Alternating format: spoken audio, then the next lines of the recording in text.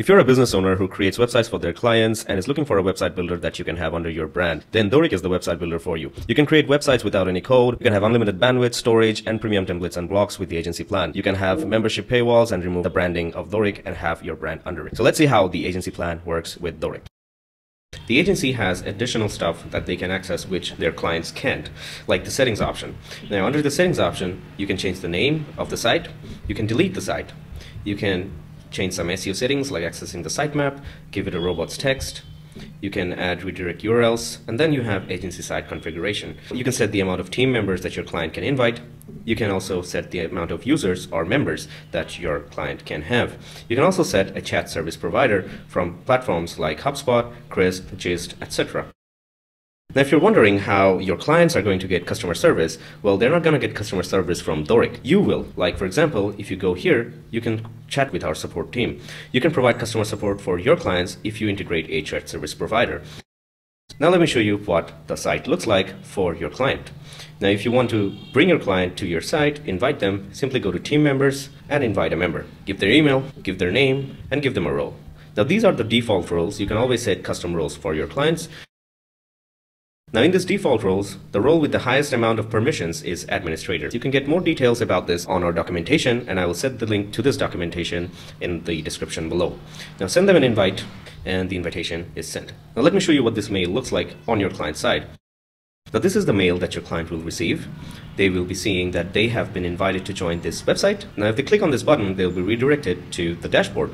If this link doesn't work, they can always use this. Okay, so this link will expire in 48 hours, just a reminder. Now let me show you what it looks like from the client's end. Let's copy this link. This is just for testing, you can do it yourself. Let's go to an incognito window. Let's paste this link and you can see a dashboard. And this is exactly the type of dashboard that your client will see. Now let's explore the differences between these dashboards. Oh wow, there's no settings option here. Your client, even with the highest amount of permissions, which is the administrator role, they won't be able to see the settings, which you can of course. Another major difference that your client won't be able to see is Dorik's name anywhere. Since Dorik is a white label website builder and you'll be able to brand it under your agency name, you can give your agency's logo over here and they will be seeing the logout button here, if which they click, they'll be taken to a logout screen where your dashboard will have the Go to Dorik app button. Here you can see the Go to Dorik app button, which if you click, you'll be able to see the sites that you have created for your clients. Now you may raise this question that, hey, how does my client log into their site? Well, it's simple. They just write their domain name and they simply write slash dashboard beside their domain. Now note this down if you want to tell your clients on how they can log into their site. So let's test this out. Let's copy this link and let's see this from the client sides window. Let's log out of this website and you can see the URL. Let's paste that URL. Since it's already logged out, I'll be taken to the login screen. This is the client's end.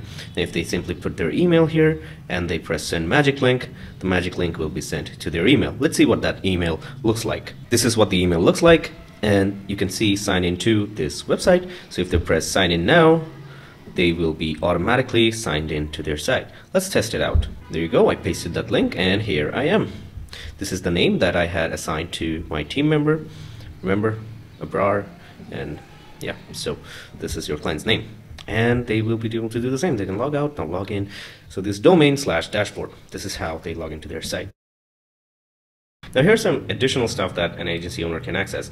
Like you can bill your clients directly from your dashboard. You can send them a billing request. I'll make another video on client billing later, but for now this is just about how the agency sites work. Another thing that an agency can do is like I said, they can set a chat provider. I will create another video on how they can do that. It's very easy, but I'll show you guys uh, on a later video.